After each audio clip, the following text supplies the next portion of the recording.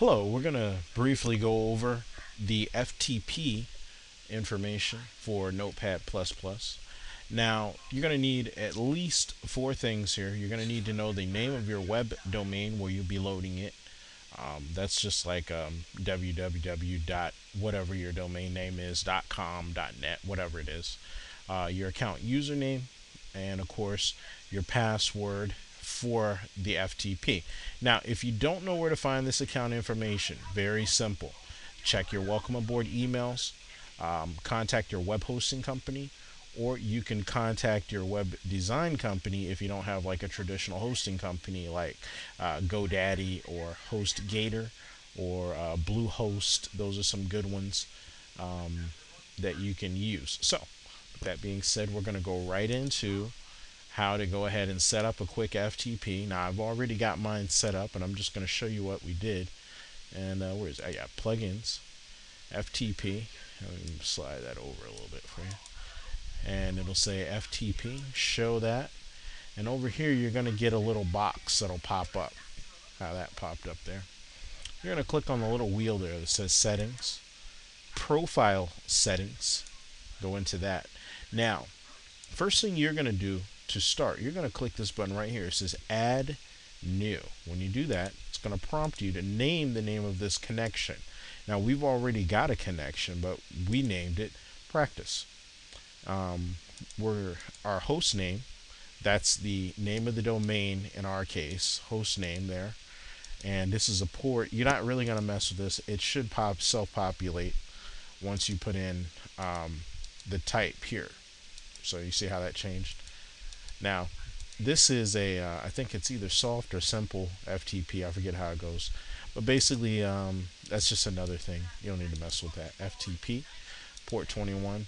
This is our username for this particular domain. And then, of course, our password is, um, it's all password blotted out.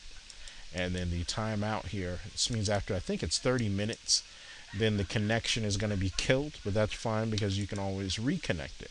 Now, this is the name of the directory that you're going to want to load your site up to. Now, nine times out of ten, if you just have your basic web hosting um, uh, setup, you're just going to have either open, which just basically means you're going to be sliding it right into the home directory of that of that page. So it was apex7.com. You're going to be sliding it right in. Usually it's got to be either blank. Some places require a forward slash. In our case, because we have multiple sites that we're hosting here, the name of the folder we're going to be putting it in is tutorials. So that's why it's important that you have all of this information available to you when you go ahead and set up the FTP. Now remember, you're only really going to have to do this once. Once you do it the first time, I'm going to show you here quickly what happens. You'll get this little blue guy here that'll pop up, and this will allow you to connect or disconnect from your host or from your server, which is cool because that means now your connection is closed. It's not open. Now we're going to open it by clicking on the blue, practice. You can have multiple FTP clients set up here, just FYI. And now it gives me the, remember I showed you the forward slash there? That's the main directory of the site. And inside we have the tutorials folder, which we built. Now this is our main site and this is a subdomain. So you're going to be able to find all this information at tutorials.apex7.com. But all of the information for our tutorials, we're going to be sliding it right in here and it'll be made available there.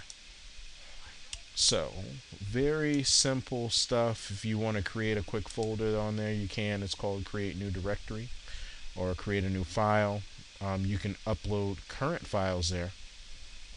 And of course, the refresh just refreshes the connection and shows you again what's live and what's not. So, Notepad++ has some decent features, and this FTP client is just one of them. And as we go on in these tutorials, um, you're going to come to love the free Notepad++ uh, application. Thanks, and see you later.